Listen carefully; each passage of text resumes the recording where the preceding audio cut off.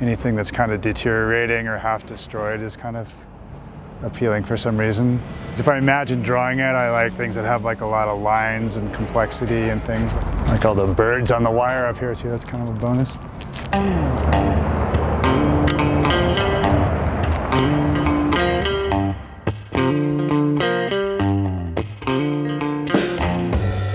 My name's Evan Hecox. Artist primarily. I, I also do some graphic design work and I live here in, in Denver, Colorado.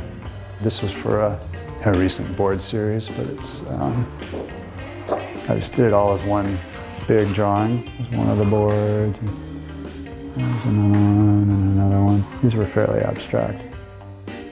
Evan, I, I met because he used to do a snowboarding brand. It's called uh, Twist. And I'd see the ads, and there were these kind of raw illustrations I thought, wow, that dude's rad. And so I reached out to him and said, hey, let's do some graphics. Do you want to do something for with chocolate? And uh, that's kind of how it started.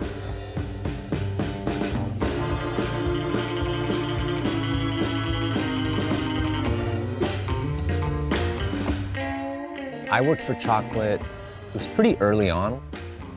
We, we would trade off, like Evan would do one, and then I would do one, and other people would do them, but very soon Evan just did them all.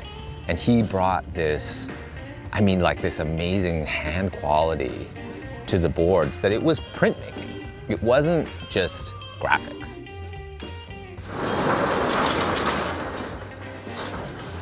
It was very exciting when I got those first few boards and I got to pull them out of the box and see the graphics I'd done on, on boards for the first time, you know. The originals were, were all hand painted in gouache and they kind of like broke down the artwork and made these, but the, the graphics came out looking a lot like the original paintings I did.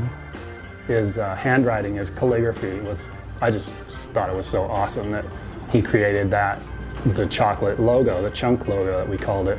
And then I thought, you know, why don't we get him to do some more lettering? And then it just eventually kind of snowballed from there. These are how they all start, and I usually try to do, you know, more than one in most cases, just to try to make sure I get one that I like.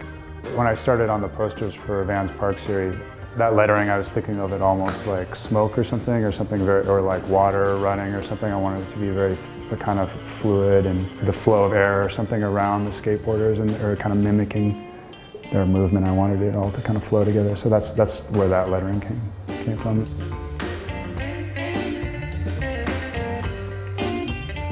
So every year Park Series chooses uh, a guest artist to do the trophies, and this year the artist is Evan Hecox. Each trophy is a super, super unique piece of art.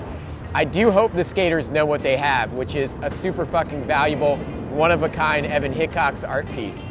It's been great to see photos of them, you know, the, the, the three winners, you know, up like right after they won holding the piece I did. And I think it's just a great idea, just in generally to do a, a, piece of artwork rather than just a, you know, a typical trophy kind of thing. I always still love skateboarding and love to see videos and get glimpses of what's going on. So it's been nice being involved with the Vans Park series. It's been, been a pleasure, really.